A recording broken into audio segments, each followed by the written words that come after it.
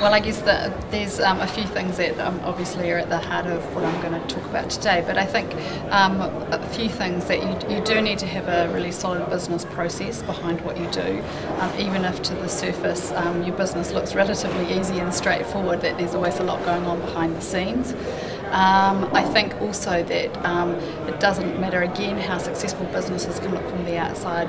All businesses face challenges, um, but it's really how agile and um, fit and lean you can be in, in addressing those issues.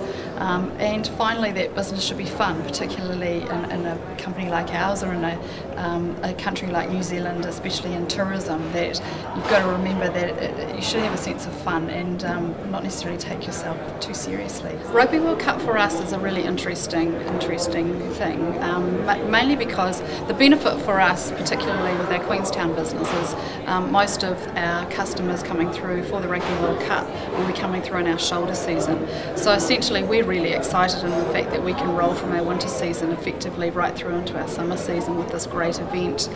Well, the Rugby World Cup, is, as I'm sure everyone knows, is just a fantastic opportunity to showcase New Zealand, and we've seen such great examples examples of of that in the past when we can be on the world stage we do ourselves proud and um, there's got to be benefit for that. Um, there's got to be benefit in that for businesses who are start-up that need to need to encourage more um, more volume of business through. So yeah, I see on many levels and many tiers a great, a great opportunity out of this. Um, just be you know beyond tourism.